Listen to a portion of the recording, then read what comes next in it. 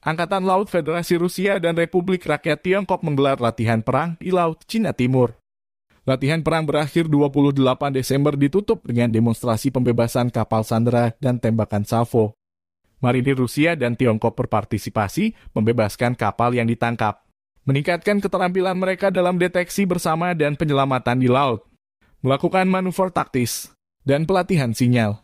Kapal-kapal perang kedua negara didukung penerbangan anti kapal selam, bersama-sama mencari kapal selam tiruan musuh, dan meluncurkan salvo muatan kedalaman berpeluncur roket. Personil berlatih menembakkan artileri ke sasaran yang menyimulasikan kapal perang permukaan. Sasaran udara dinetralkan oleh rudal pertahanan udara dan artileri. Manuver tersebut mencakup total lebih dari 10 latihan tempur gabungan. Demikian keterangan video yang dirilis Kemenhan Rusia dikutip Tribun Timur.